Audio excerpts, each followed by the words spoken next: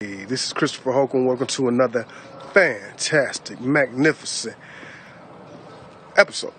Uh, pretty much what I wanted to do, pretty much, is go over one of the things that I see profoundly as a hot topic and a hot option in real estate today for investors, for renters, for pretty much anybody, especially in the Detroit area, is land contracts. Uh, most people should have experience with land contracts, but if you don't, I want to tell you about it right quick. Pretty much a land contract is you being the bank. Pretty much. Now you're like, how does that work? Well, let's say for instance, I own a house. I can't. I don't want to really rent it out. Um, I don't want to do lease options, and lease options to me are pretty much a, a fallacy of what they really are. So I say, okay, well, let me do a land contract. And what you do is you have a tenant that say, hey, I want to buy your house, but I have bad credit, and I have little to none money, little to no money. Matter of fact, I, I digress. They have some. Let's say you want to sell your property for twenty five thousand, no thirty thousand. I'm gonna give you an example, and they got three thousand or they got five thousand. All right, that's about ten percent if it's three thousand, a little over if it's five thousand. All right, so you have a down payment. That's a security deposit down payment, pretty much, to put you buying you in this contract for for the land land contract. And pretty much what's going to happen then is once you sign the agreement, you agree to take care of the property as your own, just like a mortgage. When you get a mortgage, if you got something to put down, they give you a mortgage. They give you interest, and they give you 30 years, which you're not even promised to have a job for 30 years. But most people sign on a dotted line.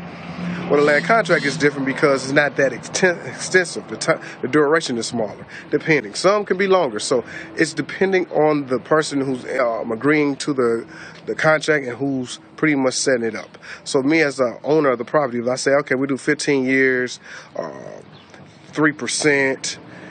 Monthly note would be 350 or 650 depending on the duration how I want to do it if I want five years the, the, the monthly note will be higher depending on what that person can afford.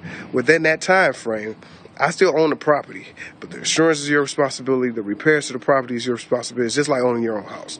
After that duration, you're free and clear. It's your property. We sign a deed over and you can walk away. But in other instances, you can have a land contract for an extensive period of time. You can put balloon payments in the land contract. So it's several different flexibilities to do it. Right now, the way the economy is, the way things have been going on in the past, what, 10 years or five years or three, about six years, a lot of people don't have great credit or even good credit.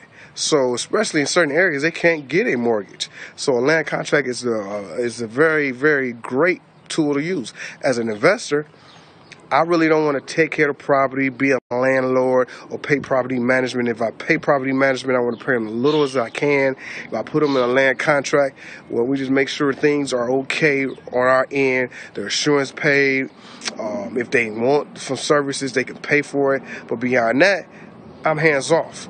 Um, they're responsible for the property, and if they don't pay and they stop paying, we foreclose and kick them out the property. Yeah, it's not cut and dry going through those procedures, but it's just like if you had a renter, you have to evict them and do an eviction notice. So everything is time consuming, but you put that into your model of um, your business that you're going to do, and that solves that should solve that problem. If you definitely uh, planned it out, worked the numbers carefully, you should be able to do that. So that just gives you a pretty much overview of what a land contract is and why a lot of people use it.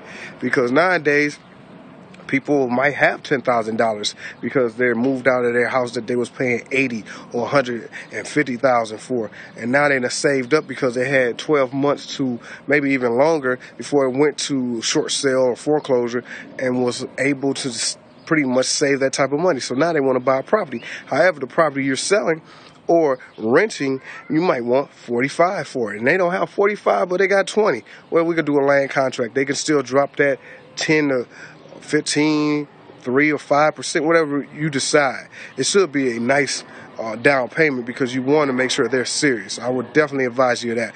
If you're doing 2% or 5%, yeah, you you still can get some knuckleheads, as I call it, that you know, pretty much within a year time can't pay the note, you got to foreclose on them. So you want to make sure you separate, as we say, the dirt from the gold. If you're digging for gold, you got to go through a lot of dirt.